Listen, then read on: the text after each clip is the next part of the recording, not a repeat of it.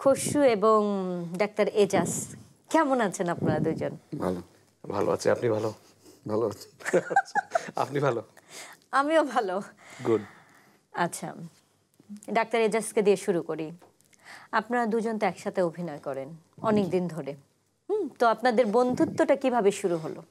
প্রথমে কি ফিল্মে? হ্যাঁ প্রথম হুমায়ুন স্যারের একটি ছবি চন্দ্রকথা। সেখানে ওনার সঙ্গে আমার বন্ধুত্ব। এবং খুব নির্মম বন্ধুত্ব আর কি। আমি শুনেছি যে নির্মম। মানে যে- চরিত্রটি আমার করার কথা ছিল ছবিতে সেটি ভাগ্যক্রমে। সৌভাগ্যক্রমে উনি পেয়ে গেছেন।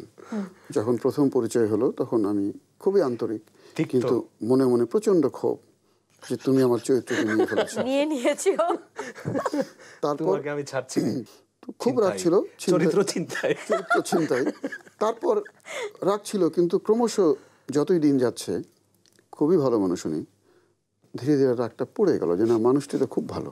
আপনারা দুজন অনেক দিন ধরে অভিনয় করছেন একসাথে।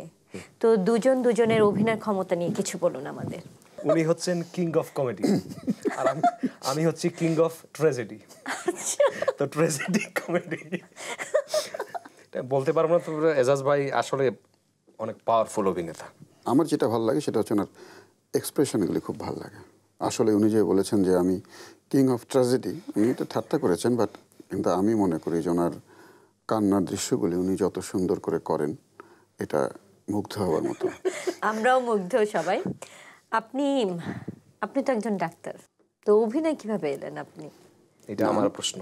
হ্যাঁ? আমার প্রশ্ন। না আমি অভিনয় ছোটবেলা থেকেই করি একদম। তো ডাক্তার তো হয়েছি পরে। আগে অভিনেতা ছিলাম। মানে ক্লাস টু থেকে অভিনয় শুরু করি এবং আসলে মূল কাজ শুরু করলাম আমার পরম শ্রদ্ধেয় হুমায়ুন স্যার। ওনার নির্দেশনায় প্রথম আমার। আমি বলব যে আমার আপনি 89 কাজ শুরু। এইটি নাইনে আমি এনলিস্টেড হয়েছি বিটিভিতে তারপরে আমি হুমায়ুন স্যারের সান্নিধ্যে আসি নাইনটি সিক্সে মানে দর্শক মনে রাখবার মতো কাজ। তার মানে আপনার কথা বোঝা যাচ্ছে যে ডাক্তার হওয়ার আগেই আপনার অভিনয় বা টিভি রেডিওতে আপনি কাজ শুরু করে দিয়েছেন। কাজ করেছি। খুশু আপনি অনেক ছোটবেলায় আমরা যতদূর জানি যে ম্যাট্রিকের পর পর আপনি লন্ডনে চলে গেছেন প্রবাসী হয়ে গেছেন আর কি তো ওখানে যে আপনি নাট্যকলা বিভাগে পড়াশোনা করেছেন সে সময়কার কিছু কথা বলুন আমার ওখানে আমি প্রথমে একটা local theatre half moon theatre ওদের ইউথ থিয়েটারের সাথে আমি ইনভলভ হই। অনেকগুলো নাটক করি। তারপরে তাদের মেইন স্ট্রিম ইয়েতে যাই। ওখান থেকেই ড্রামা স্কুলে প্রথমে আমাকে এক বছর ইয়ে অ্যাক্সেস ইয়ে করতে হয়, তারপরে স্কুল অফ ড্রামাতে তিন বছরের ইয়ে করলাম। তারপর পরই আমি স্কুল থেকে বের হওয়ার পরে আমি ব্রিটিশ অ্যাক্টর্স সিকিউরিটি অ্যাসোসিয়েশনের মেম্বার হই। ঠিক ওই সময়ে প্রথমবার বাংলাদেশে আসি। তাও কাজে। ঢাকায় আসলাম গ্রুপ থিয়েটার ফেডারেশনের সাথে কাজ করলাম পাঁচ সপ্তাহ। ওই সময় আমাদের যারা বড় বড় লেজেন্ড পায়োনিয়ার যারা থিয়েটারের যেমন বাচ্চু ভাই নাসিরুদ্দিন ইসুফ বাচ্চু বাচ্চু ভাই ছিলেন গ্রুপ থিয়েটারের সভাপতি। হামিদ ভাই মোহামিদ বিটিভিতে দৃষ্টিকোণ নামে একটা ইয়ে করেন প্রডিউসার রামেন্দু দা ফেরদোসি মজুমদার আবদুল্লাল মামুন যিনি আমাদের মাঝে আর নাই। ওনাদের সাথে পরিচয় হয়। আসাদ ভাই পীযুষ দা ফরিদি ভাই বড় বড়। মানে হ্যাঁ আর সবাই আমাকে খুবই স্নেহ করেন অ্যান্ড প্রচুর উৎসাহ দেন করেন। And I was the first Bangladeshi যে একুইটি মেম্বার হই। অ্যান্ড প্রফেশনালি যেইটুকুই করেছি প্রফেশনালি ওখানে কাজ করি।